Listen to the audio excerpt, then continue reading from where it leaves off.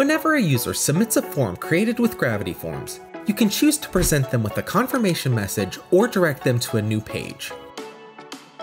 By default, the confirmation message is a simple message letting the user know that the form has been successfully submitted and thanking them for their submission. In this video, we'll show you how to change the default confirmation message or create your own so you can make it relevant to your specific form or audience. If I navigate to the confirmation settings for a form, I can edit the default confirmation message by clicking on its title or clicking the edit button that appears when I hover over it.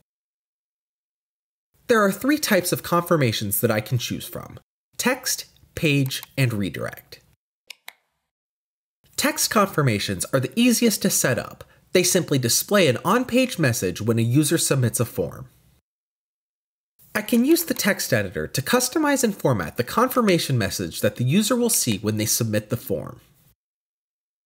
Using merge tags, I can personalize the message and address the user by the first name they used in the name field when they submitted this form. I can even add an image or video by selecting the Add Media button. The page confirmation type lets me redirect the user to a different page after they submit the form. The drop-down box lets me set the page that I would like the user to be redirected to. I can also choose to pass field data via a query string, which allows me to send data that was entered on the form to the redirected page. For more information on using query strings, be sure to check out our documentation, linked in the description. If I wanted to redirect the user to a third party or external site after they submit the form, I could use the redirect option. I can set the URL that I would like to redirect the user to by entering it into the redirect URL field.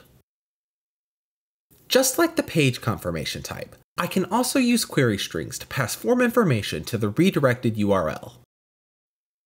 For this video, I will just use the easiest and most popular option and simply display an on-page confirmation when users submit this form. Once I am done customizing my confirmation, I'll save my changes. With Gravity Forms, I can also create multiple confirmations for my form and use conditional logic to determine which confirmation to use based on how the user responded on the form. For example, I can create a new text confirmation message that says I'll call the user back within 2 to 3 business days. I can then set the conditions for when this confirmation should be used in place of the default confirmation message. For this confirmation, I'll use conditional logic to display it only if the user indicated on the form that they would prefer to be contacted via phone.